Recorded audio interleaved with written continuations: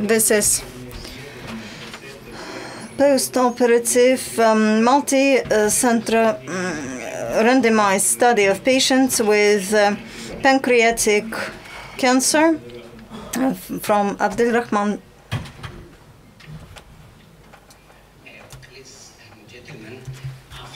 Starting after we have published the result of the sarcoma study, uh, 2010, we started a new randomized study for a new tumor modality, pancreatic cancer. It is a multi-center study in more than 10 centers in Germany.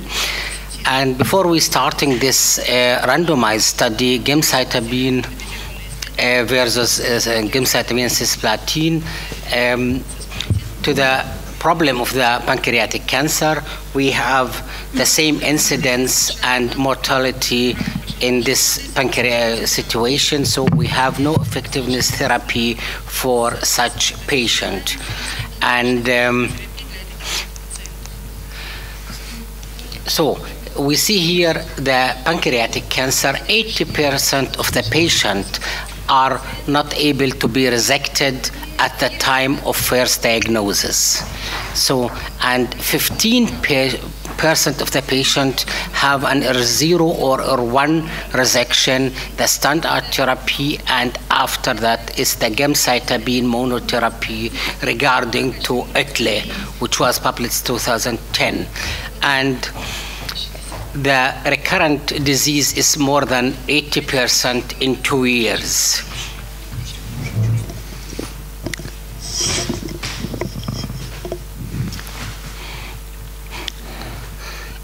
In this situation, the patient receive FOLFIRINOX or other treatment. So the modality of our treatment to install the heat randomized study instead of the gemcitabine mono. And the phase two study in case of recurrent or in case of liver metastasis under the first regimen of therapy. So at the beginning, I come to the phase two study and then to the heat study. The phase two study, they give the patient who are have a failure after a gemcitabine-based treatment we give the patient in this cases gemcitabine and cisplatin combined with regional hyperthermia. Cisplatin because it is chemosensitive chemotherapy agent.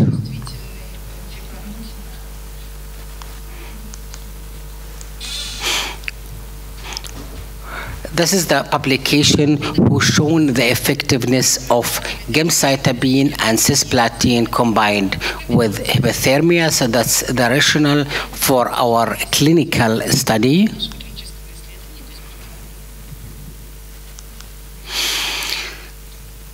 You have seen it. We use an BSD 2000. This is Pyrexar now with Sigma 60 applicator, 8 dipole antenna, and the new approach is 24 dipole antenna, and this is more important for treatment of pancreatic cancer because in this applicator we are able to change the focus of the treatment in three-dimensional um, direction.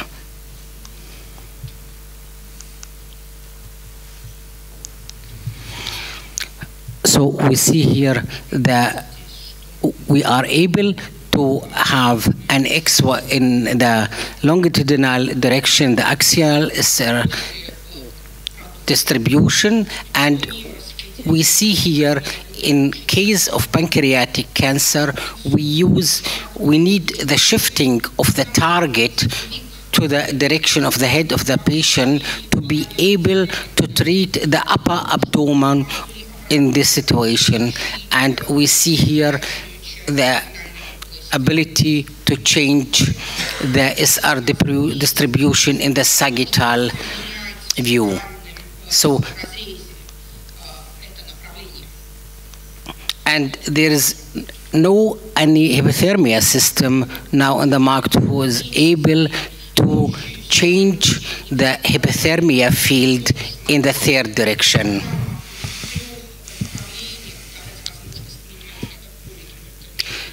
To see the effectiveness of um, hyperthermia treatment in such very difficult to heat tumor in the abdomen, it's a very deep tumor, we test the effectiveness of temperature in this situation and we installed an invasive temperature catheter by the patient. You see it and we measure the temperature each six minutes and with a thermal mapping.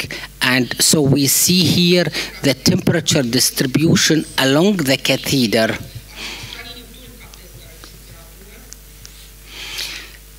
in an calculation of 18 patients, 146 treatment we have a median maximum temperature of 42 1 degrees and that was the rationale for performing hyperthermia in such a very difficult uh, tumor like the pancreatic cancer. So we are able to receive a sufficient temperature invasive measured in the upper abdomen. The next one, we measure the tumor in the, in the pancreas in two cases, and we have seen a temperature of more 41 degrees in these cases. And so we have seen we can measure the temperature in the pancreas, especially, and in the abdominal, upper abdomen in general.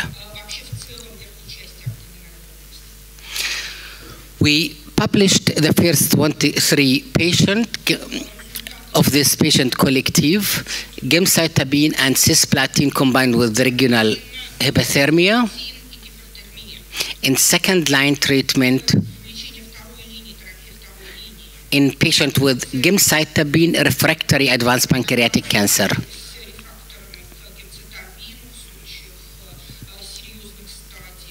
In 2013. So we have 23 patients and all of these patients have stage 3 uh, and all of these patients they have a locally advanced tumor or metastatic lesion. The most of them as usual by pancreatic cancer is the liver metastasis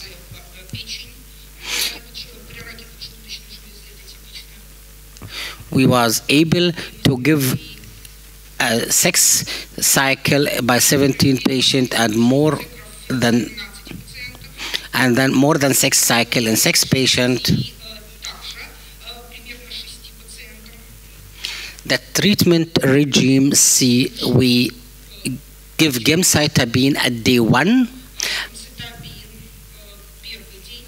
and at day two and day four we give cisplatin combined with hyperthermia as mentioned because cisplatin is the thermo the thermosensitive chemotherapy of this treatment regimen.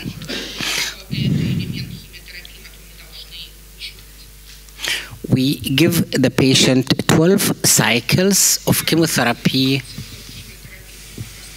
and hyperthermia and we see here the toxicity observed by this chemotherapy and hyperthermia treatment regimen.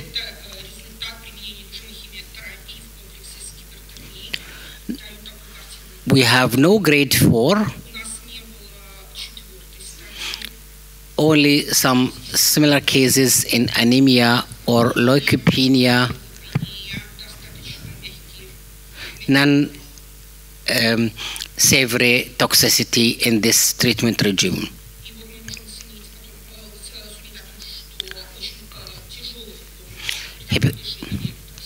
hyperthermia has no grade 3 or grade 4 toxicity.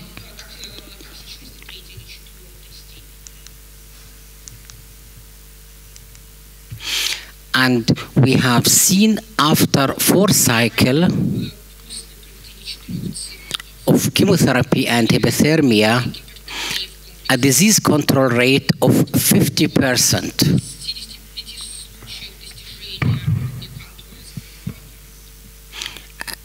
And that's partial response and stable disease.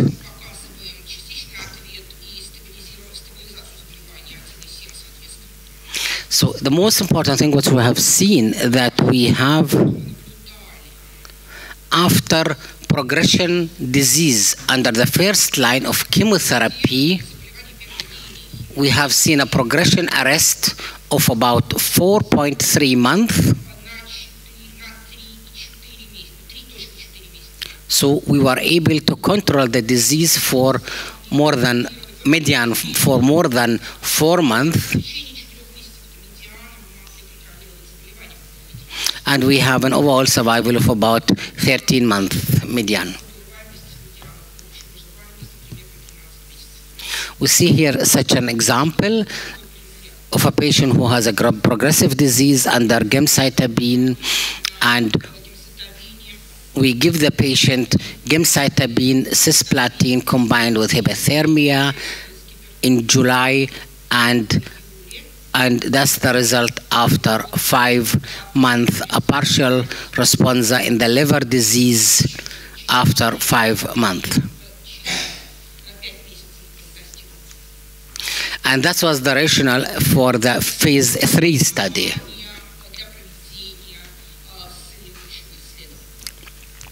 The standard uh, chemotherapy regime for resected patient is gemcitabine which was published by Oettle, and the update was 2013.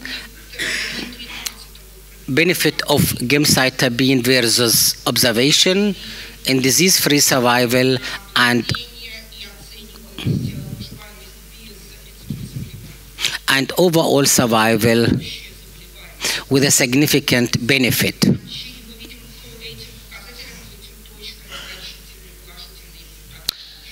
So we know that gemcitabine is effective in resected pancreatic cancer. We know that we are able to heat the pancreas effectively and we are able to heat liver metastasis effectively and therefore we establish the heat trial.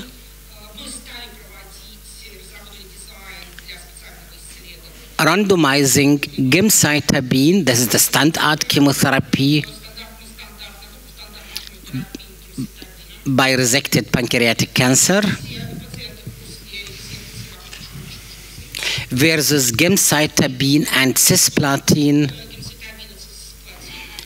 compared with hyperthermia.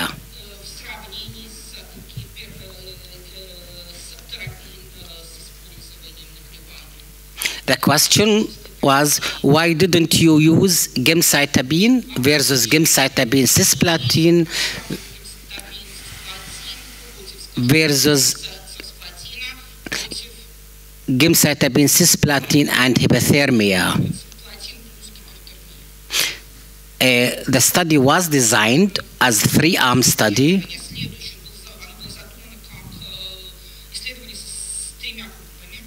But in the ASCO 2010 was was published that no difference between gemcitabine versus gemcitabine cisplatin. So we don't need to make the same experience. And therefore, we compare standard and standard with thermosensitive chemotherapy with the hyperthermia.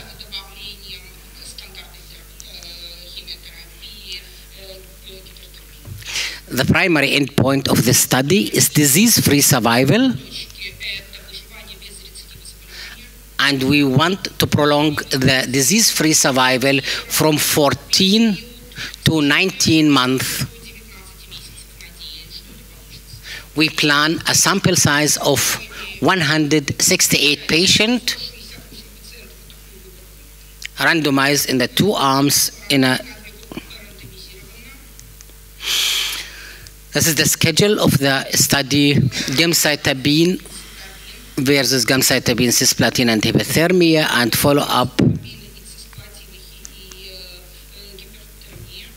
now we have randomized 54 patients in this study you see here the different centers who are involved in this study Munich, Düsseldorf, Tübingen, Erlangen.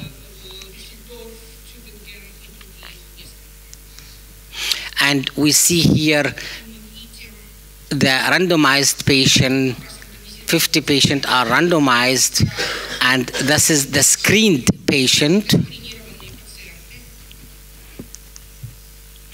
And the first analysis which we have seen, primarily data, only toxicity analysis.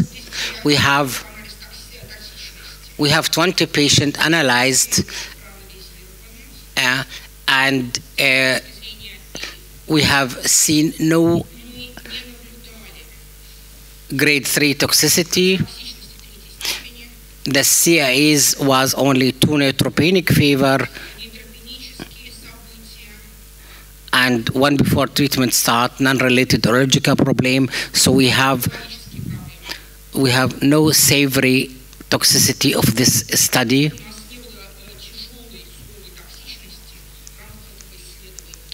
Okay, thank you, sir.